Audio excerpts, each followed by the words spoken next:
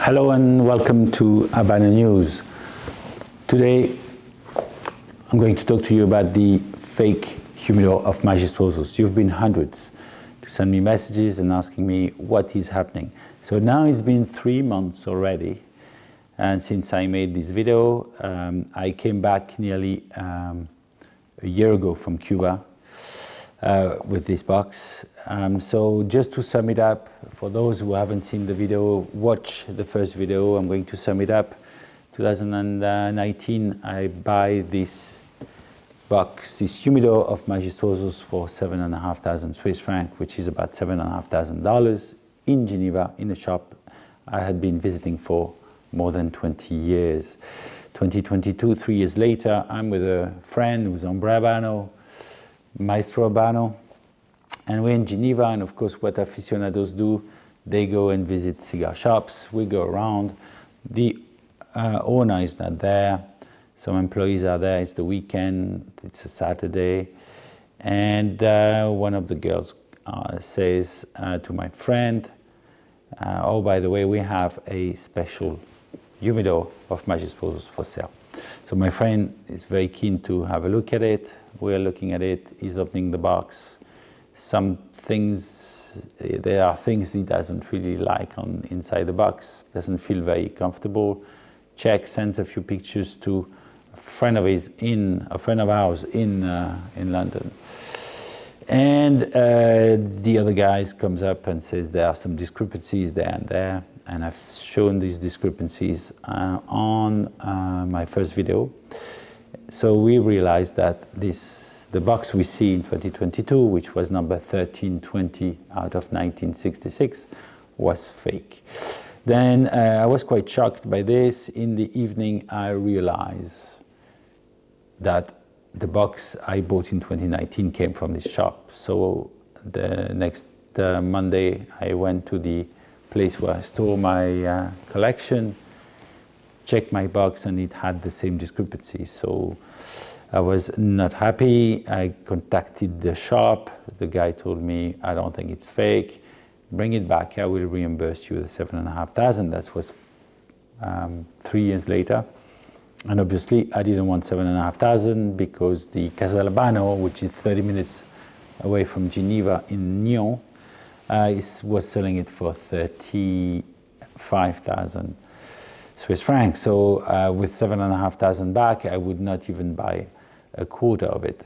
So uh, I said, no, I want a, a, box back. And I just didn't know what my rights were, especially if someone was selling a fake cigar. So I contacted my lawyers, asked them to contact the distributor called Intertabak. They, they were very, very useful. They told me we didn't sell the box um, to the shop and that sold it to you.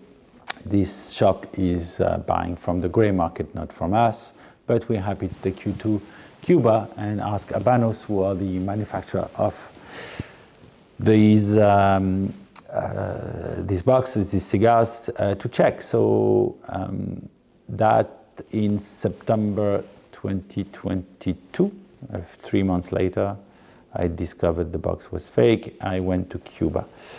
And uh, Habanos came back uh, six months later with a full report, uh, very impressive. Everything is fake. The box, the labels, the warranty stickers, um, the labels on the, the, the, the labels, the um, rings, um, everything is fake. So uh, my lawyers contacted the shop asking to replace the box and they said, no, we don't accept what Habanos is saying. For us, the box is not fake. So this is something that if they are not an official distributor of Habanos, they don't even have to accept what Habanos is saying. It's the first lesson I, I learned. And then after going backwards and forward with them, um, they said, okay, we are happy to pay you 15,000.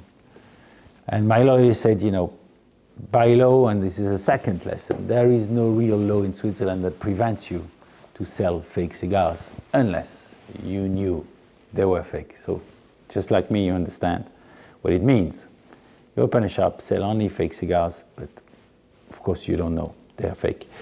Um, so there is no protection um, as you know, Habanos doesn't sue around the world because they would they would spend all their time and their money just going after every fake cigar on the planet, and there are a lot. Um, and so there is no protection. The only protection I would say is going to legit shops and to check where you buy your cigars from. So don't trust the guy who knows the guy that works at the Cuban embassy and his uh, uh, brother-in-law of someone who knows someone. It doesn't work. And even in the shops, you have to check. Uh, like I said, um, you know my story.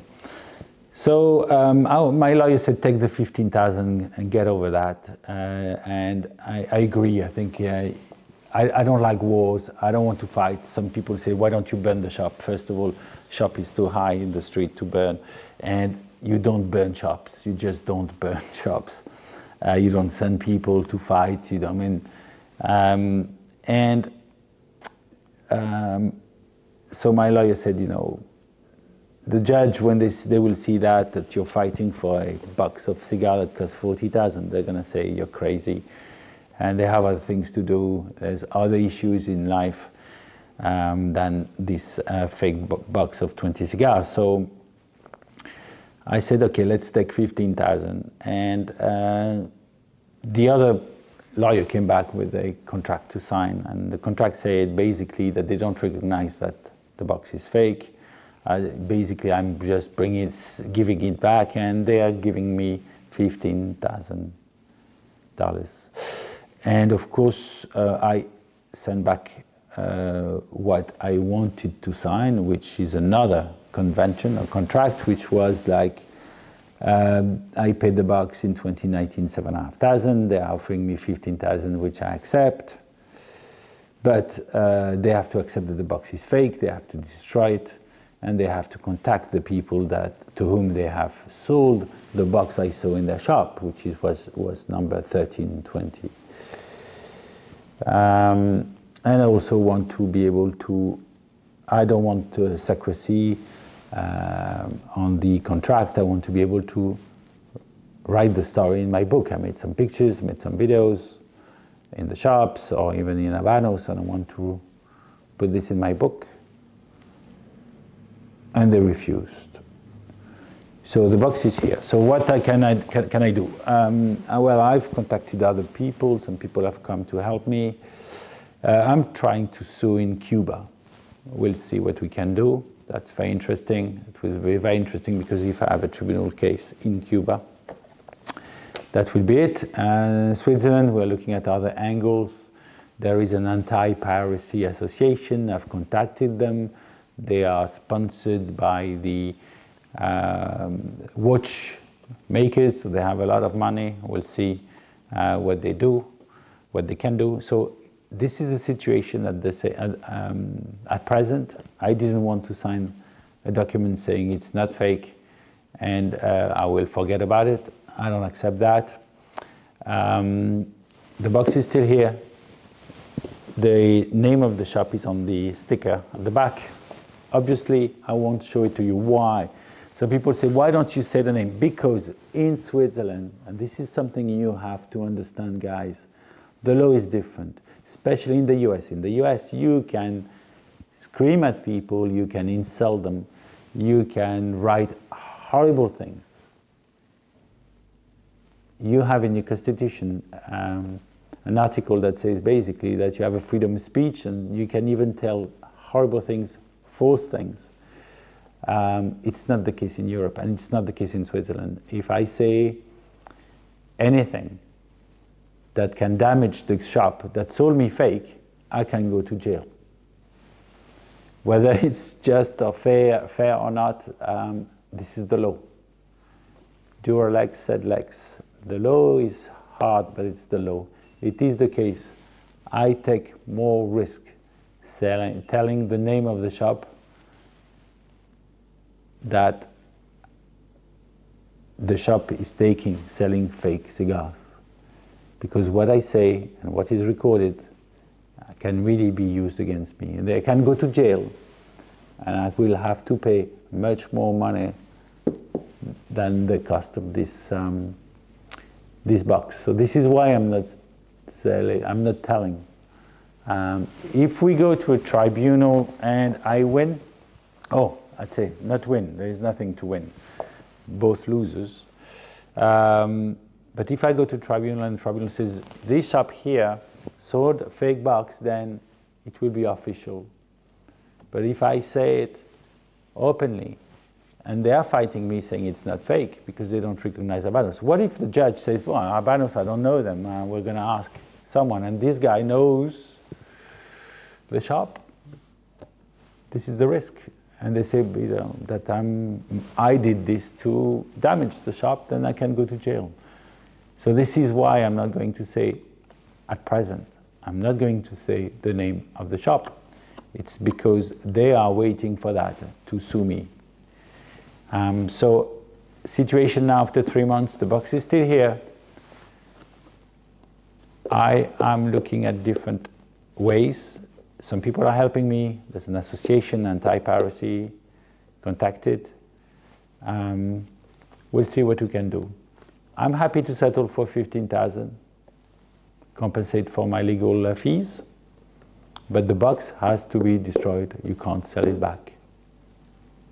And you have to inform the people who bought the other boxes and you know they were fake. You didn't only sold, sell fake boxes, I know that, but the one you sold that were fake, number 1320, you have to inform the buyer if he hasn't come back yet.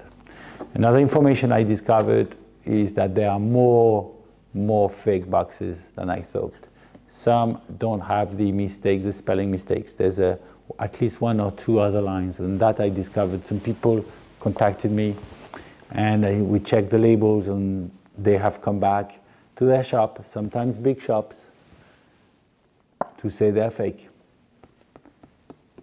They are fake. So double check. Take pictures of especially the new lines that are fake, and there are some being made now.